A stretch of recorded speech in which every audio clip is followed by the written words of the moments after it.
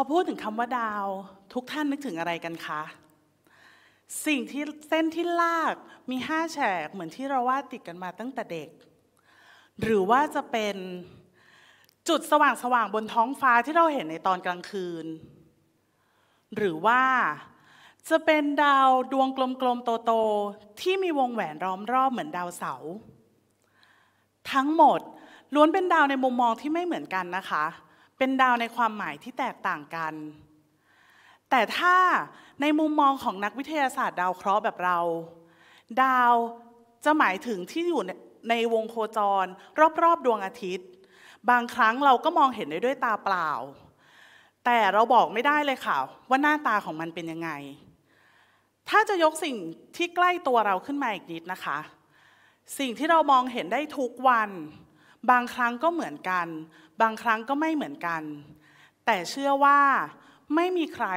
ไม่รู้จักสิ่งที่อยู่บนท้องฟ้าสิ่งนี้แน่ ๆ ค่ะ ดวงจันทร์ค่ะ ความที่เราเกิดแล้วก็โตที่จังหวัดประจวบคีรีขันธ์นะคะทำให้เรามีความใกล้ชิดกับคำว่าดาราศาสตร์มากพอสมควร เพราะว่าอะไรหรอคะ เพราะว่าที่นี่ เป็นที่ตั้งของอุทยานวิทยาศาสตร์พระจอมเกล้านะว่ากอ เป็นที่ที่รัชกาลที่ 4 ทรงคาดคะเน แล้วก็คำนวณว่าเราจะเห็นสุริยุปราคาที่ตำแหน่งนี้ได้ชัดเจนที่สุด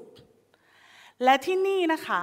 เรียกได้ว่าเป็นที่แรกที่ทำให้คนไทยเข้าใกล้กับคำว่าดาราศาสตร์ และวิทยาศาสตร์เป็นครั้งแรก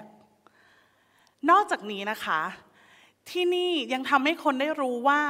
สิ่งที่เกิดขึ้นในธรรมชาติ จริง ๆ มันอยู่ใกล้ตัวเรา เกิดขึ้นและคาดการได้ ไม่ได้เกิดจากสิ่งที่อยู่เหนือธรรมชาติไกลตัวอย่างที่เราเคยเชื่อ แล้วอุทยานแห่งอุทยานที่นี่นี่แหละค่ะ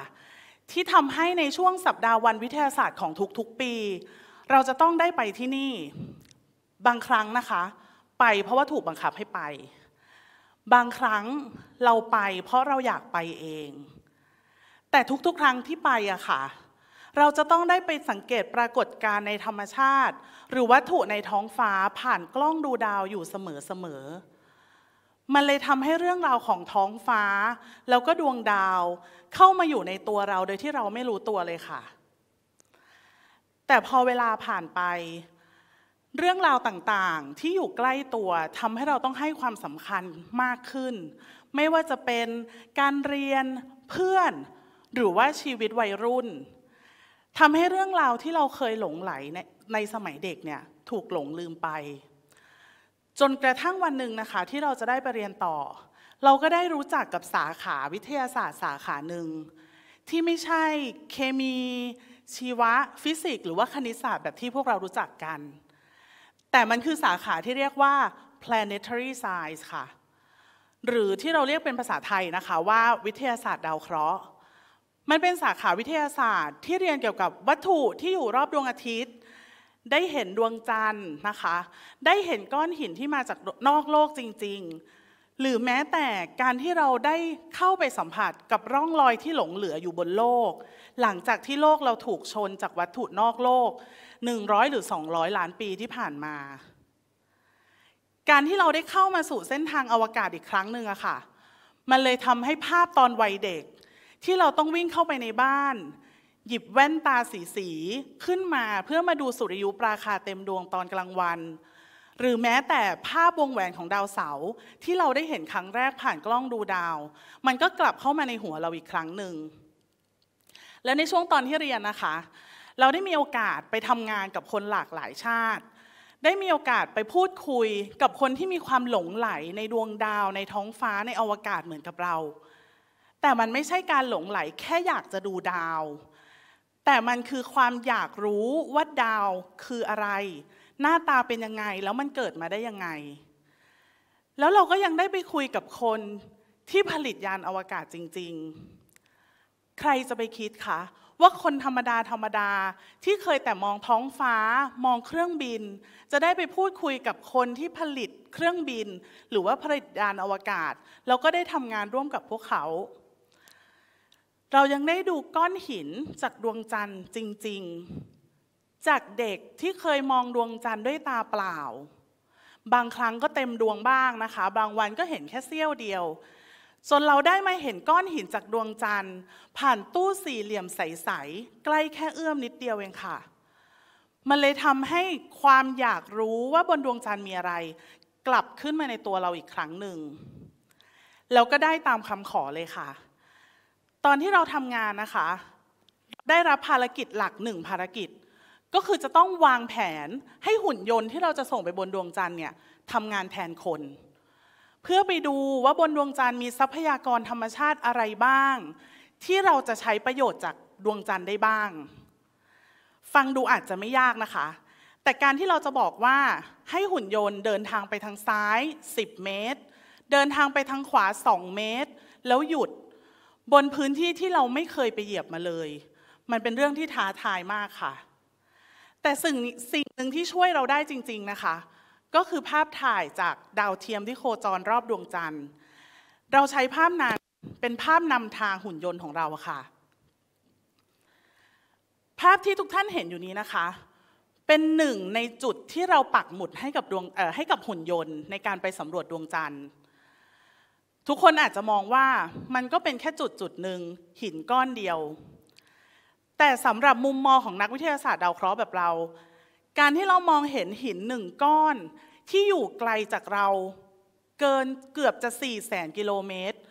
หรือถ้าพูดกันให้ง่าย ๆนะคะ ก็ระยะทางขับรถไปกับเชียงใหม่ยะลาสักร้อยรอบอะค่ะ เพราะฉะนั้นการที่เราได้เห็นหินก้อนหนึ่งชัดขนาดนี้ มันไม่ใช่เรื่องง่ายเลยนะคะ และภาพภาพนี้ค่ะ ก็เป็นภาพที่ทำให้เราได้ไปนำเสนอไอเดียกับกลุ่มหรือว่าหน่วยงานที่ทำงานทางด้านอวกาศนะคะ ณตอนนี้นะคะ หุ่นยนต์ยังไม่ได้ขึ้นไปบนดวงจันทร์ หินก้อนนี้ยังไม่ได้ถูกศึกษา แต่ถ้าวันหนึ่งนะคะ หุ่นยนต์ได้ขึ้นไปบนดวงจันทร์จริง ๆ แล้วได้ไปศึกษาหินก้อนนี้จริง ๆ มันไม่ใช่แค่หินก้อนเดียว แต่มันคือคำตอบที่จะบอกเราได้ว่า โลกเราเกิดมายังไง เกี่ยวกับดวงจันทร์ยังไงแล้วเราจะเอาอะไรจากดวงจันทร์มาใช้ทดแทนสิ่งที่โลกกำลังจะหมดไปได้บ้าง พอพูดมาถึงตรงนี้นะคะ ลองนึกดูว่าขนาดเวลาที่เราไป เวลาที่เราจะไปเที่ยวสักที่หนึ่งอะค่ะ เราเปิด Google Map ใช่ไหมคะ มองหาเส้นทางสักเส้นทางหนึ่ง บางครั้งเวลาเราขับรถไปถึงจุดหมายปลายทางเรา เคยไหมคะที่มีคำถามในหัวว่า เฮ้ยมันไม่เป็นเหมือนที่เราคิดเลยนี่ ลองคิดดูนะคะ ถ้าวันหนึ่งที่ขุ่นยนต์นี้ ได้เดินทางไปตามเส้นทางที่เราวางไว้ แล้วได้ไปเจอกับหินก้อนนั้นจริง ๆ คำถามคำพูดแรกที่อยู่ในหัวเรา คงเป็นคำว่า เป๊ะเวอร์เลยค่ะ พอมาถึงตรงนี้ทุกคนอาจจะสงสัยว่า นี่เรากำลังนั่งฟังอะไรอยู่เนี่ย มาฟังเรื่องราวของดวงจันทร์เรื่องราวของอวกาศ แล้วมันเกี่ยวข้องกับตัวเรายังไง มันใกล้ตัวเรายังไง อยากจะให้ทุกท่านนะคะ ลองล้วงกระเป๋าของตัวเอง ไม่ว่าจะเป็นกระเป๋ากางเกง กระเป๋าถือ หรืออะไรก็ได้นะคะ ลองล้วงลงไป คุณเจออะไรเป็นสิ่งแรกกันคะเงินหรือเปล่า หรือว่าจะเป็นกุญแจบ้าน กุญแจรถ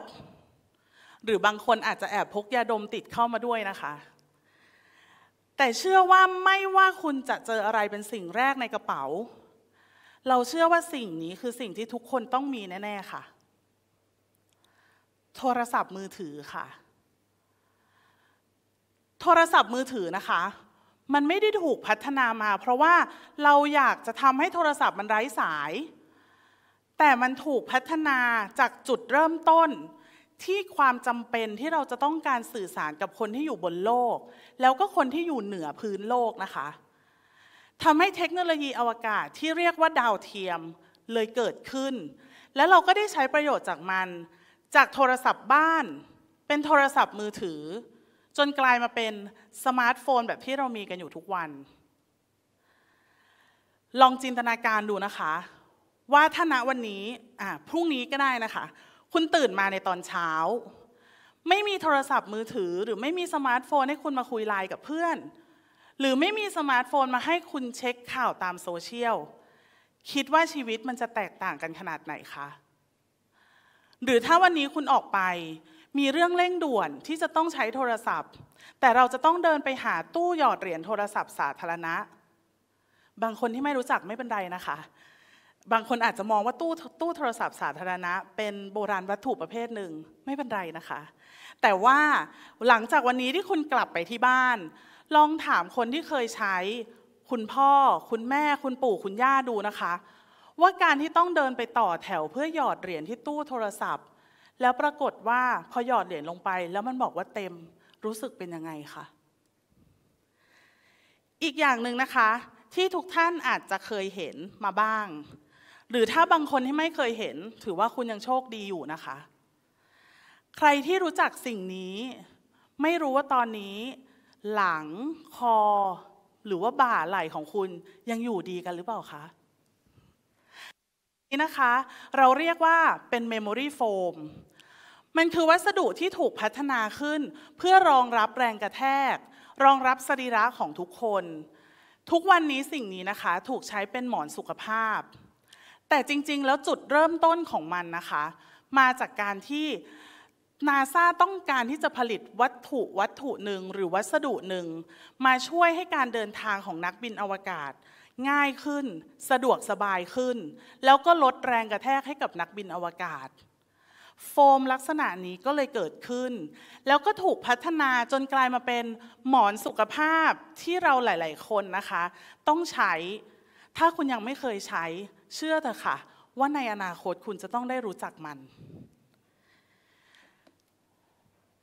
แล้วนี่ก็เป็นตัวอย่างประโยชน์เล็ก ๆ นะคะ ที่เราได้จากการเดินทางของอวกาศ ปัจจุบันนี้นะคะ การเดินทางในอวกาศ การผลิตเทคโนโลยีอวกาศ มันยังคงเดินต่อไป ไม่ได้หยุดนิ่งนะคะ เพียงแต่ว่าเดินทางต่อไปด้วยวัตถุประสงค์ที่ไม่เหมือนเดิม ไม่ใช่แค่การอยากรู้ว่าในอวกาศมีอะไร ในท้องฟ้ามีอะไร แต่วัตถุประสงค์มันเปลี่ยนไป มันคือการผลิตเทคโนโลยีอวกาศ เพื่อความอยู่รอดของพวกเราทุกๆคนค่ะ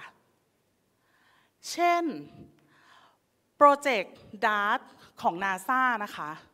เป็นโปรเจกต์ที่สร้างจรวดขึ้นมาหนึ่งอัน ไปยิงดาวเคราะห์น้อย แล้วก็ลองดูว่าดาวเคราะห์น้อยเนี่ยมันจะเปลี่ยนทิศทางการเดินเคลื่อนที่ของมันหรือเปล่า หลาย ๆ คนอาจจะถามว่า แล้วเราจะต้องไปยิงมันทำไม เราจะไปสนใจมันทำไมคะดาวเคราะห์น้อยมันก็อยู่ในอวกาศของมันไป แต่ถ้าเกิดคุณได้ตามข่าวที่เกี่ยวข้องกับอวกาศในหลาย ๆ ปีที่ผ่านมา เราจะพบว่านักวิทยาศาสตร์ ค้นพบดาวเคราะห์น้อยที่มีโอกาสเคลื่อนที่เข้ามาใกล้โลกเยอะมาก ๆ ค่ะ อย่างเมื่อตอนปลายเดือนตุลาคมที่ผ่านมานะคะ นักวิทยาศาสตร์ก็ได้ค้นพบกับดาวเคราะห์น้อยดวงหนึ่งที่มีโอกาสที่จะเคลื่อนที่มาผ่านวงโคจรของโลก ขนาดของดาวเคราะห์น้อยดวงนี้ประมาณ 1.5 กิโลเมตรนะคะ ฟังดูไม่ได้ใหญ่เท่าไหร่ แต่ถ้ามันชนโลกขึ้นมาจริง ๆ มันใหญ่มากพอที่จะทำให้คนทั้งห้องนี้หายไปเลยค่ะ เห็นไหมคะว่าจริง ๆ แล้วเทคโนโลยีการสำรวจอวกาศ มันไม่ได้อยู่ไกลตัวอย่างที่เราคิด มันอยู่ใกล้ตัวเรานิดเดียวเองค่ะ แค่โทรศัพท์มือถือในกระเป๋าของทุกท่าน